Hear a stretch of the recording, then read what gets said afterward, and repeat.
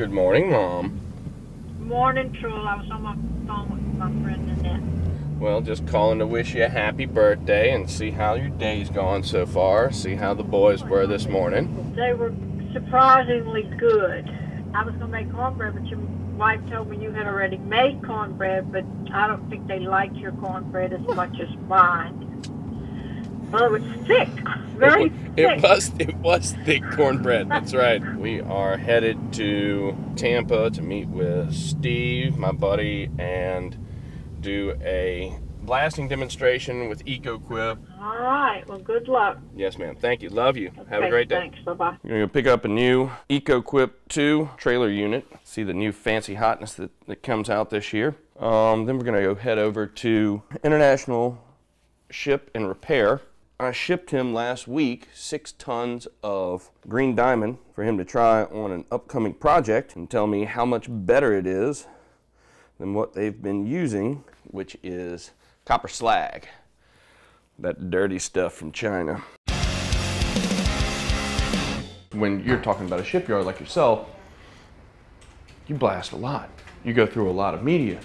Green diamond compared to copper slag, you almost get 50% more by volume. So I want to say like 45% more media by volume. That means less logistic price, twice the amount of media, and we've got, I'm not going to say, oh, we're 30% faster. We're about 10% faster in speeds. We're here to just let you guys play with the media, tell us what you think. I feel like this is a place where like plasters and painters slash graffiti artists come in and, and sketch out their ideas of what they want to do on the uh, overpass. God is good all the time, David.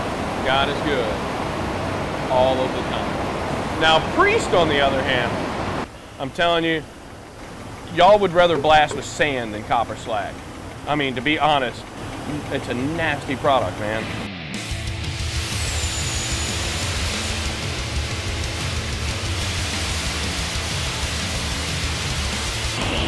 Like it? Good. Yeah. Looks really nice. That was quick. It was. Pressurize the pot right here. It's going to automatically set itself to 185 psi. It's 93% dust free. So really, what what you're looking at is we're using about half the amount of media right now. But on top of that, it's all caught in water.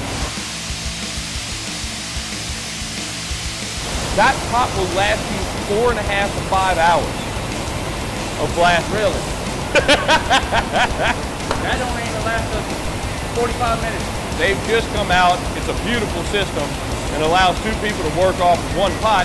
They're debuting it at the SSPC show tomorrow. I can only tell you about it now because it's finally coming out. This is how eventually our industry is going to go. It's going to get away from complete dry blasting and it's just going to become a more environmentally safe product. I definitely like, I like both. I mean, The grit's great, the equipment's great.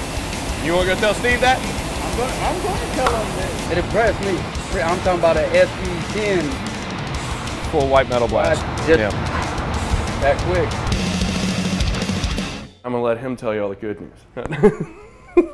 It's impressive. That's the first stuff I ever used it that do it that quick.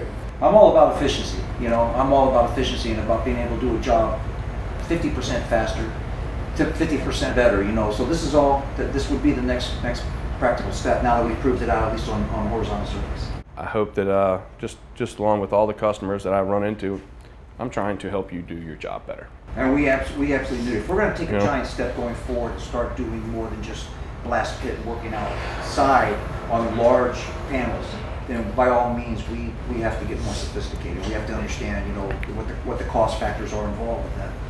And I, I think I think we're on the right path. How are you? Good to see you. Good. What's up, Bryce? Hey, nice to meet you. Nice to meet you. We're impressed out of the gate. We're very impressed with the product. Okay. I think it looks positive at this point in time, and we've got, you know, we've got the, the, the blast, the two people in blasting, the, the ones at the top, we're very happy with what's happening. We got to get that two line going. That, Yeah. that would probably No. be a big turning point. We gotta get my four line going, Bryce. Man, it was a smashing success. Uh, winds all around. The media performed outstanding, dry blasting, and with the vapor abrasive blasting equipment. Getting to blast a couple things first with dry blasting and being used to the mess that dry blasting creates. It's an amazing contrast from um, one technology and one system to another. We're wrapping it up here in Tampa and gonna head back to Orlando to uh, get ready for some SSPC setup. Stick around.